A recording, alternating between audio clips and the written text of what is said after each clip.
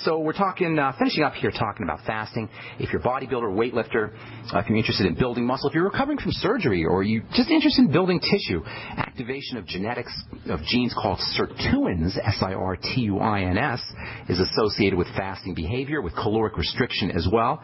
There's genetic associ- There's a, a genetic component to the anti-aging benefits of fasting, and indeed there are wonderful anti-aging benefits and longevity benefits and anti-inflammatory benefits. There's all kinds of benefits associated with fasting behavior. And a lot of these are based on epigenetic phenomena, on turning genes on and off. Gene, we get, got this idea in our culture that genes are some kind of master keys to uh, how the body is built and how the body de- is developed, and we forget that genes turn on and off based on uh, our behaviors, based on our environment, based on nutrition or lack thereof, and this epigenetic phenomenon can be tapped into by using fasting behaviors or caloric restriction. Fasting can have especially uh, important benefits for folks who are dealing with autoimmunity. Even WebMD recognizes this. WebMD is certainly no friend of alternative or nutritional medicine. Uh, WebMD has an article on their website about fasting's benefits in relieving the symptoms of multiple sclerosis. I blogged about this at pharmacistben.com. Uh, WebMD says that multiple sclerosis, as which most of you know, is an autoimmune disease of the nervous system. Uh, uh, WebMD recommends fasting for improving the symptoms of MS pretty much all auto, autoimmune diseases, autoimmune health issues will improve with fasting, and even just eating less, even just caloric restriction can help reduce symptomology, especially reducing calories from uh, reducing calories from processed foods with little nutritional value. This is so important, you guys. If you follow uh, the food pyramid, or you listen to your doctor, you listen to average dietitians, nobody's making a distinction between the calories you get from processed foods with no nutritional value and the calories you get from good foods. Simply cutting back on our intake of low nutritional density foods can make a huge difference for autoimmune diseases. On the other hand, using nutritionally dense foods and using easy to process foods, foods that are easy for the digestive system to work with, can have a positive effect on the same kind of autoimmune symptomology soups, smoothies, vegetable juices. Nutritionists call these kinds of foods low residue foods, and these low residue foods are quickly utilized by the body, quickly processed by the body. That's why I'm always recommending that you use liquid nutrition. This is why the Beyond Tangy Tangerine and BTT, Beyond Tangy Tangerine 2.0, are so effective nutritional supplemental products because they're liquid. Now I say this probably almost almost every day on the bright side. I certainly say it in my presentations.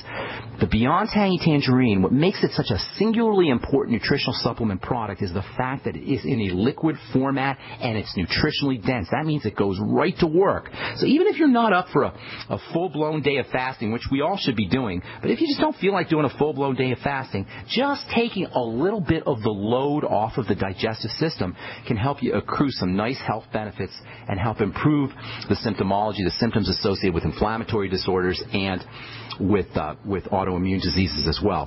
Hit your satiety buttons. Hit your satisfaction buttons. Combine salt and oil and veggies. This is one of the great secrets of dieting and appetite suppression, appetite suppression, caloric restriction, combining foods so that you hit your satiety or satisfaction centers.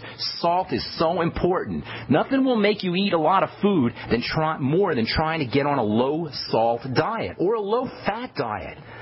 Have you noticed that with all the low fat propaganda that's been out in the last 30 years, we're fatter than ever before? We're, we're, we're, the fattest culture in the history of mankind, even though we're obsessed with low fat, because it's not really the fat that's the problem. There's a, a built in hardwired need for fat that we can exploit, that we can take advantage of, that we can leverage.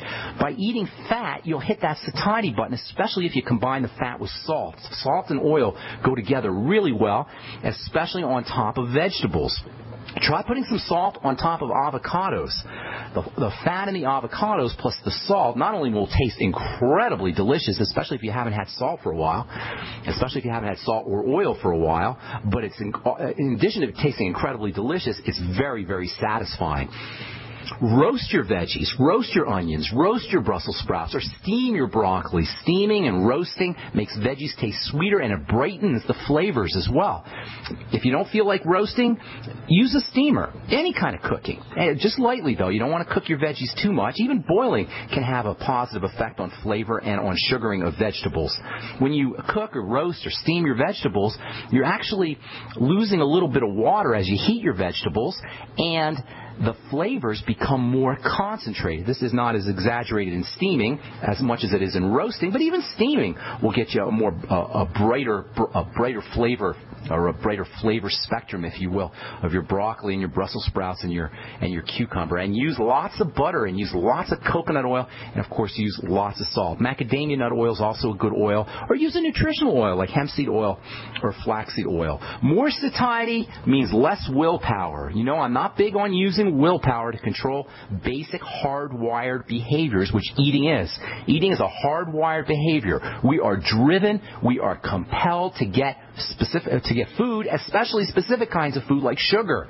Using willpower is is not a good strategy because the drive for eating, the eating behaviors, and the drive for sugar, uh, sugar is built into the brain.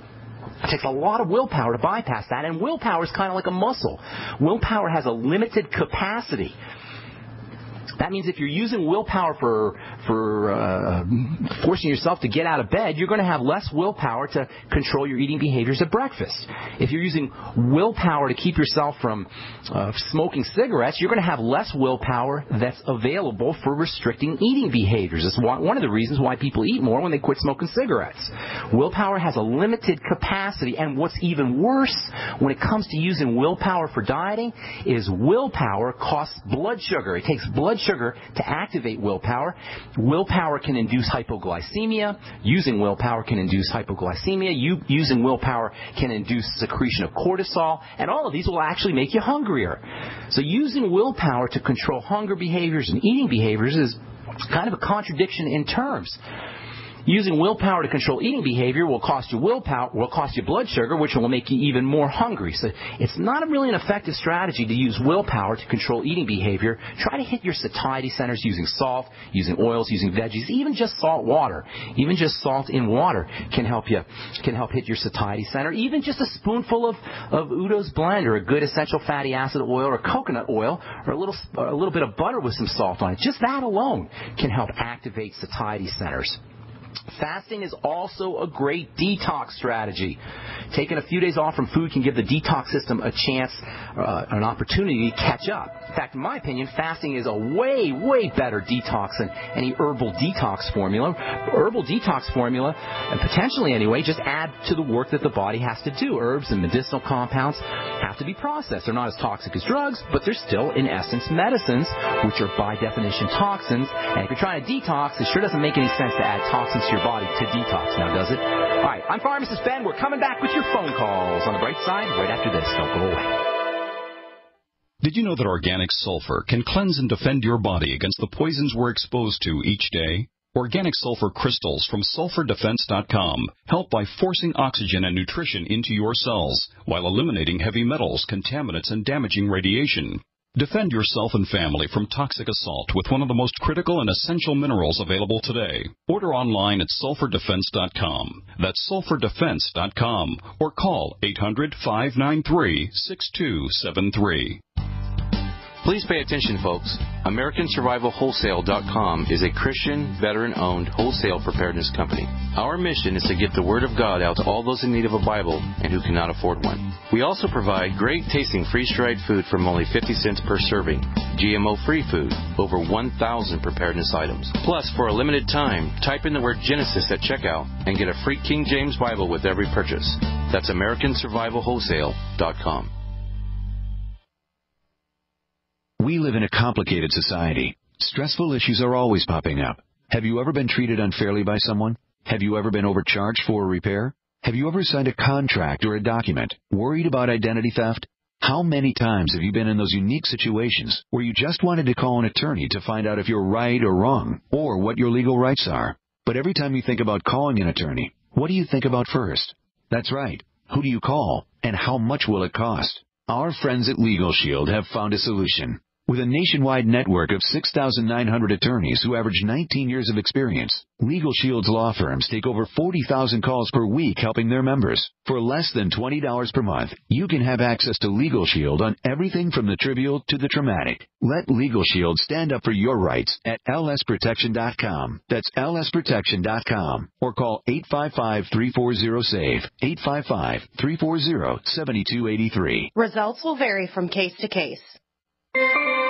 This alert just came in. This special announcement is for business owners and leaders of organizations who've been waiting for the right time to build. General Steel has made it impossible to wait any longer with rock bottom prices that could save you thousands. That's right, General Steel, America's leader in pre-engineered structures, is offering buildings at prices you will never see again. Don't miss these prices. A 50 by 100 for under $30,000. You heard right. That's 5,000 square feet under $30,000. Manufacturers, if you need a larger building, try a 100 by 100 commercial building for 129,000. You can't afford to rent with these prices. Imagine a 70 by 100 foot church building for under $69,000. With the economy improving and interest rates still at historic lows, you can't afford to wait. So call 866-91 Steel. Lock in your price now. Take delivery in spring. 866-91 Steel. That's 866 917 8335.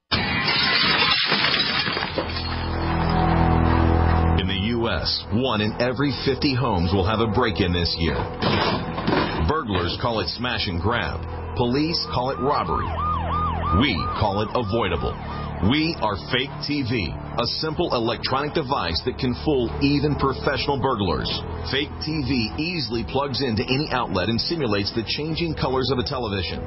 To a burglar, it looks like someone must be home watching TV, so they'll likely move on to an easier target. At only $29.95, Fake TV costs less than a month of most alarm monitoring plans and comes with free shipping. Order your Fake TV by calling 877-5-FAKE-TV or go to faketv.com. That's 877-532-5388 or faketv.com. Fake TV, the burglar deterrent. Great news, pure water lovers. BigBerkeyWaterFilters.com has a special discount offer for all GCN listeners. You can't do better than a Big Berkey for economy. For only 1.7 cents a gallon, a single set of filters can last for 5 to 10 years. There's none better than a Big Berkey for emergency preparedness as a backup water source. And you just can't beat a Big Berkey to remove dangerous chlorine, all types of fluoride, pathogenic bacteria, cysts, parasites, and unhealthy byproducts from municipal water. Berkey water filter systems are even powerful enough to purify stagnant pond water. For the gold standard in water filters, get a Big Berkey at BigBerkeyWaterFilters.com. And all GCN listeners get 5% off all ceramic filter systems. For details, call 1-877-99-BERKEY. That's 877-99-B-E-R-K-E-Y. Big Berkey Water Filters for the love of clean water. A little right, a little left, but always independent minded. The Genesis Communications Network, GCN.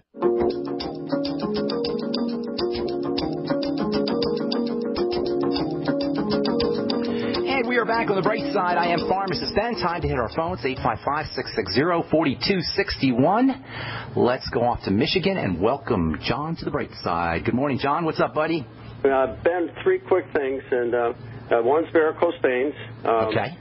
Uh, Is this, calcium. is this all for the same person, or is this just general questions? Yeah, these are general, and, and, and a couple of them are for specific. One's for me. Uh, the, the calcium is, is raw milk a good source of calcium, and Yeah. uh, what's a good copper source, and then also split skin on thumbs and fingertips. Okay, that's a bunch of stuff there. Uh, calcium is, you know, milk is milk is obviously a good source of calcium, but where do cows get their calcium from to get in the milk? Where do you think? Probably the grains. Y- No, not the grains. They're not Oh, supposed the- to. The grass. The grass. Vegetables, That's right. greens. That's your best source. That's going to be your best source of calcium is greens, green leafy vegetables. Um, yeah, obviously there's calcium in milk, but there's also a downside to milk as well. You get phosphorus in milk, which competes with the calcium. If you're doing raw milk and you're doing organic milk, and it's somewhat difficult to find raw organic milk, then uh, then you're probably going to bypass a lot of the problems associated with milk, especially if it's not homogenized. Homogenization grinds the little fat particles up to a tiny size to where they can get absorbed into the bloodstream very effectively. So homogenized milk is a no-no. Pa- pasteurized milk is a no-no. Obviously, uh, hormone milk and antibiotic milk and all that kind of stuff that you get in milk is a no-no. Uh, milk's not just not a, an effective food unless it's right from the tap. You know, mother's milk is the best milk to get. We should all be drinking mother's milk as long as possible. So if you find yourself a, a nice mother who wants to